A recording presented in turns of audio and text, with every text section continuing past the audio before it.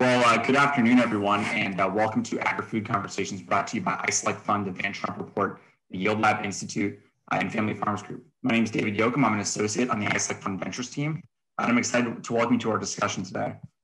AgriFood Conversations is all about driving innovation in agriculture. Each month, we highlight a specific theme, including emerging topics such as soil health, plant genetics, vertical farming, and aquaculture, to name a few. This month's theme is the agri-food supply chain, and on today's call, we're joined by Felix Cheung, CEO of Ixon Food Technology. Ixon's advanced sous vide aseptic packaging technology, ASAP for short, sterilizes food at just 140 degrees Fahrenheit, which allows the food to maintain both its flavor and moisture while fully protecting it up to 24 months. This process also excludes preservatives and chemicals, which are commonly found in other preserved or packaged foods. ASAP retains the quality and nutritional value of fresh produce with the convenience and accessibility of canned and preserved foods. Now, each of you knows that customers or companies are more likely to succeed with the right network of customers, talent, investors, and advisors. We have invited you to this call because you're some of the smartest, most talented people in Ixon's market. You are potential customers for Ixon's products and services. You have built a company similar to Ixon, or you are a sophisticated business person or agricultural professional who understands the market and challenges and opportunities Ixon may face. Before we get started, we have a quick poll question to get a better idea who we have on the call today. Please take a few seconds to answer. Now, a few process comments before, before we jump in here. We are not soliciting investment. This presentation is to provide information to help Ixon Food Technology find customers, mentors, and other strategic relationships to help them grow their business. You are all on mute. You can use the chat window to ask a question at any time. This presentation is being recorded and will be available for replay. And so without further delay, I am pleased to introduce Felix Cheung, CEO of Ixon Food Technology. Felix, please feel free to take it away. Thank you so much, David. It is a great pleasure uh, to be speaking here. And uh, so, I, and I can declare this is prop, this is the most the latest presentation I have ever given, given that I'm based in Hong Kong and it's 4 a.m. over on this side. So our company is based in Hong Kong. Give, I'll give you a little bit background about um, myself. So I'm a food scientist. I have a PhD degree in physics and also a master's degree in food analysis and food safety management. And in fact, this is how our technology uh, come to life because um, like I met my business partner Elton when I was studying my master's degree uh, at Hong Kong Baptist University there, we developed this amazing technology called advanced vide aseptic packaging that allows us to store fresh meats, fish, seafood at room temperature. And in fact, we are the only company in the world that can keep fresh meats fresh at room temperature for two years. And one of our goal is um, to become the next Tetra Pak. So if you know about the, the Swedish company Tetra Pak, they're the leader in the aseptic packaging solutions for liquids like milk, juice, any kind of beverages. And we are the first company in the world that can do aseptic packaging for solid food, like um, meat, fish, and seafood. So our talk today is about food supply chain. And we probably all know that like the food supply chain is faced with a host of problems these uh, today. First is food safety. So uh, especially in the meat industry, after you produce uh, you you produce the meat products, how can we ensure that everything is clean, free from bacteria, viruses, parasites, especially with the consumers nowadays being so concerned about like microorganisms uh, during the, the COVID pandemic. And then the rising costs, like meats, especially high quality meats, is getting more and more expensive not only because of the rising cost of the raw material, but because of the demand in the cold chain supply. So how can we actually reduce the costs? And then third, we probably are all, are all accustomed to this problem now, uh, the border disruptions. If the meats, they, uh, they get disrupted, uh, disturbed during the transportation, like that leads to problem like uh, a shelf life, spoilage? Can we extend the shelf life of meat from days to weeks? In, and in our case, like two years without using preservatives? Is that possible? Sustainability. Consumers these days have the perceived, uh, the perception that eating meat is very unsustainable. So is there a way where we can allow consumers to continue their meat diet, but remain sustainable at the same time? And lastly, data, uh, insightful data. So in the meat industry these days, it is actually very difficult to capture the consumers' data, especially uh, the, the end consumers. Is it possible to set up a system where we get to analyze, uh, collect the data, analyze the, the uh, consumer data, and give consumers exactly what they want, the, the meat product that they want. And it would be great if we have a one grand solution that can solve all these problems. Well, luckily, today here we have this uh, new technology called advanced sous vide aseptic packaging that allows us to store meat at room temperature. The, the way we actually hear some products, we, we actually have a pilot factory in Hong Kong where we make these products. So this is a US sirloin steak in a box, and this is a Canadian pork chop in a box. In fact, they have actually been sitting on my desk for the last four months and without a refrigeration. If you open it, this is what it looks like. The sirloin steak in extra virgin olive oil, no chemicals or preservatives. And I don't know if you can actually see it. There's some, you can actually see some of the myoglobin, what, what no, as some people call it as blood floating around. And it can remain shelf stable because our technology actually sterilize the, the meat so that there's no bacteria. And without bacteria, there'll be no spoilage. And this is the Canadian pork chop. So it's a lightly cooked meat because it's been sous vide at 60 degrees. And because we have sterilized the product, no, there will be no spoilage. And unlike traditional retort product, the taste uh, of our product and the texture is, is unprecedented. It, it's a tender, juicy, medium rare. If you cut open the meat right now, you can actually see the inside is still pink. And the best thing about it is because it's sterilized, there is no bacteria, viruses, or, uh, or, or parasites. So even if the pork is slightly medium rare, you don't have to worry about like getting tapeworms, things like that. So how do we achieve such low temperature sterilization? Why hasn't anyone been able to achieve uh, the, the same results as, as we did? Well, if you look at the conventional uh, uh, uh way of sterilizing uh, sterilization food, we use retort sterilization. And the way we do it is we put the whole packet of food into a retort oven, and then we heat the food to 121 degrees Celsius for around 40 minutes. The high heat is what kills all the bacteria and allows us to store canned food without refrigeration. But the, the, the, the side effect of this uh, method is that the high heat will overcook the meat, making the meat very tough and dry. We realized very early on that there's a smarter way of sterilization as uh, sterilizing food, a way to circumvent the overheating problem.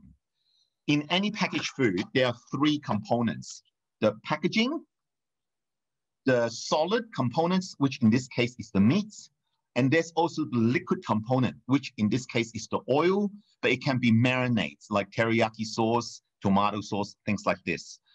We actually separate the different components into and then apply different sterilization techniques on the different components.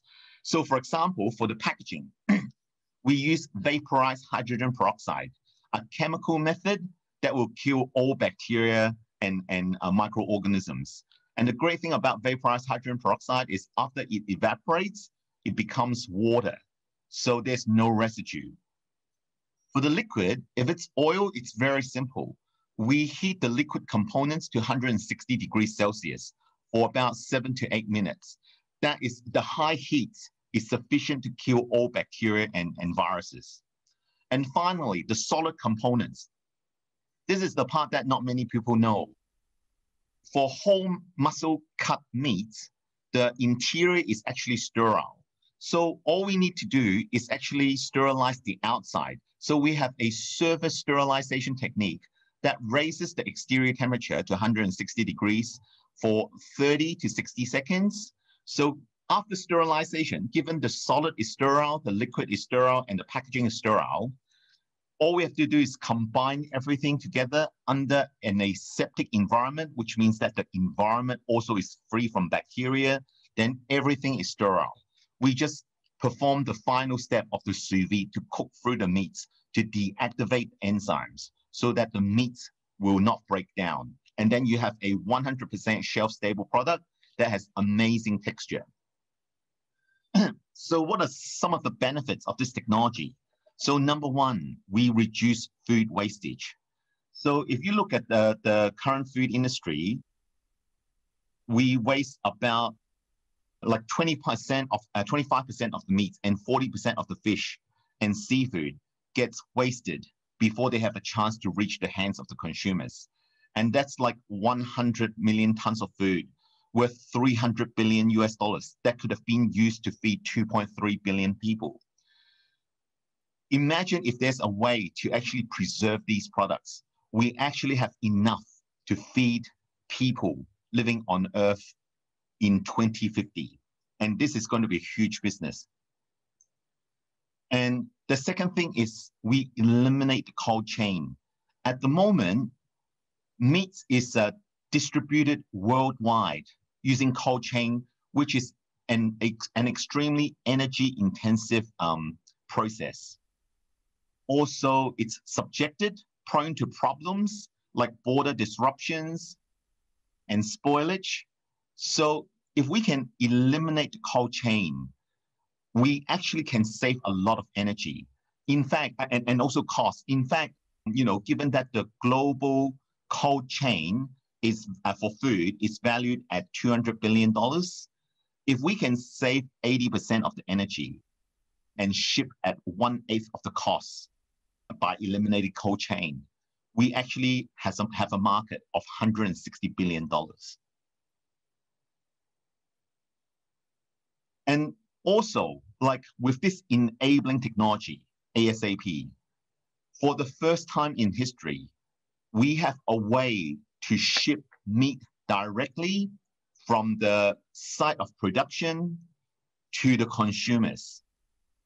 And this can help cut a lot of costs, not only because you're shipping at room temperature, but because you're cutting out a lot of the middlemen, the distributors, the vendors, the retailers, and because you don't have food spoilage, you don't have to transfer that cost to the consumers. To give you some example, like at the moment in US, prime sirloin steak costs about $10 per pound in Costco. In Hong Kong, the same steak would cost about 22 US dollar per pound. So like more than twice as expensive, which is understandable because of the logistics, the retailer cost, the shelf space costs, and also the wastage costs. Imagine if we can ship directly from US to Hong Kong to the consumers. We can offer the customer a high quality product at a faster pace and also at a cheaper cost. And food service, some of the problems that they're facing now is the, the, the, the difficulty of actually getting professional chefs, people working in the food service industry, and also of the rising cost of experienced chef. Here, you have a product that is precisely cooked in, the, in a central factory and you, once you open the package, you only need 30 seconds to cook it. So imagine how fast, how much, how much quicker we accelerate the food service industry. And there will be no complaints from the customers because it's basically impossible to have an overcooked meat because everything is precisely cooked. And uh, like the, the applications is endless. Things that you can do now, but you couldn't do before. So for example, you can take our meats on a camping trip to space, to high mountains, and uh, to like to the middle of the of a desert. In fact, like with this technology, we we can distribute meat to corners of the world where we couldn't reach because of poor cold chain infrastructure. So the applications are endless. So other things we can do is like, for example, we can put it into instant noodles. So instead of uh, freeze-dried uh, ingredients, now you have a piece of juicy, tender steak or pork chops to go with the instant noodles. Gift sets. So for example, you can pair it with wine so that, you know, the more wine you drink, the more meat you eat. And the more meat you eat, the more wine you drink. Unmanned supermarkets where now selling fresh produce like meat is actually impossible. But with this technology, now you, you suddenly can start selling meat in an unmanned supermarkets. So we have a facility, a pilot factory in Hong Kong where we can make about 50 kilograms of products per day. Our next goal is to build a, uh, we're actually building a facility in US this year where the production capacity will be increased to one ton of meat per day. And we estimate that the technology will cost around two US dollar per pound of meat processed. The, the goal is actually to in, further increase this production capacity to four tons of meat per day so that the cost of the technology will actually be competitive with the current uh, packaging technology like vacuum sealing technology. And over the last 15, 15 months, we have um, launched a Kickstarter campaign where we offered 2,000 pieces of our products to the worldwide and raised 40,000 US dollar in 12 hours. We have joined five accelerators program and worked with 22 corporate partners around the world, including Ecolab, Mitsui Chemicals, Sealed Air, and also won multiple awards. So it's been a pleasure to give you this presentation and I hope that you see the benefits of this technology and I'm ready to accept any questions. Well, Felix, thanks so much for such a fantastic presentation. And I, I can speak here as someone who has tried the product, and it, I, I will say it really certainly exceeded expectations. I think, it, and this sort of ties into one of my initial questions for you, but I think you know shelf life preservation is such an interesting challenge because everybody wants it, but the word preservation or preservatives also kinds of kind of freaks out the average consumer. But having tried the product, it was phenomenal. So anybody who is also interested in trying products like this, I totally recommend it. It's pretty, it was pretty mind. So with like with that in mind, like Felix, thinking about that sort of dual challenge where supermarkets want it, consumers want it, people want things that last longer. And there's certain types of products where we've been able to, to see that, like milk lasts so much longer than it used to in the past. But like for things like this, where there's been some pre-processing that you know creates it's fundamentally a new type of of preserving foods. What does consumer response look like, and how do you think about sort of navigating that sort of that the challenge of of this sort of dual message? Yeah, we've actually done like consumer testing, preliminary consumer testing, where we tested our products uh, and also asked our uh, participants their willingness to buy our products. At the beginning of the trial, after three minutes of uh, explanation of the technology and then finally trying the product. And at the beginning of the trial, we scored five out of 10, which is expected. And like you said, you know, because it's of this preservation concept. And then after the science explanation, six out of 10.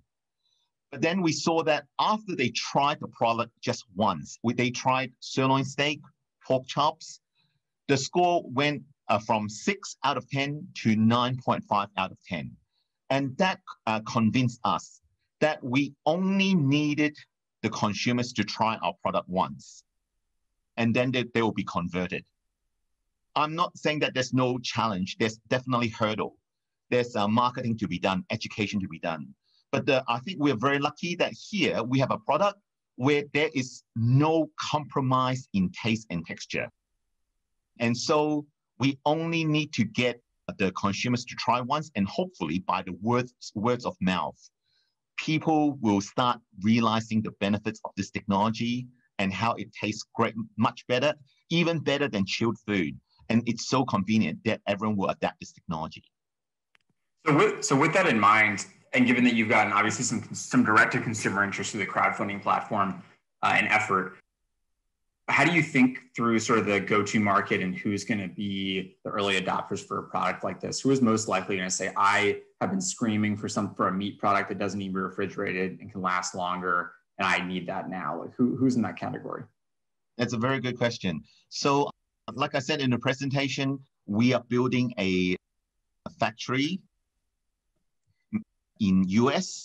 Now, the reason for that is we are trying to get close to the source of the raw material. Now, after we package the product, we are selling this product worldwide, but we are aiming for target market in Asia. The reason being, we, we, we predict that, you know, in order to convince the American consumers to use our products and not use the, the, the markup, the chilled and frozen meat product, it might, it might take some time because they are comparatively of the same price. But if we are shipping this product to Asia Pacific without cold chain and directly, we can offer consumers uh, in the Asia uh, cheaper product, but of the same quality.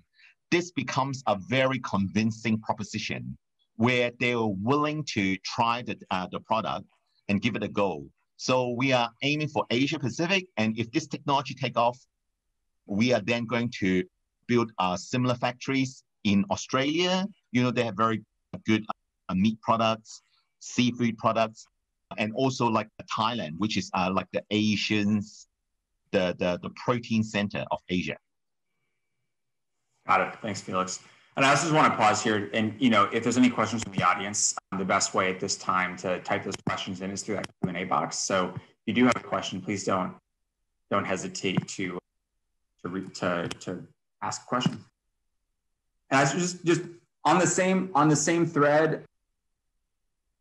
Do you do you imagine that Ixon's going to run both B2C and B2B routes at the at the onset? Because I know you've gotten some interest from some of the major meat companies, but also it's equally viable that you could be selling products directly from an e-commerce perspective. Do you expect to do both?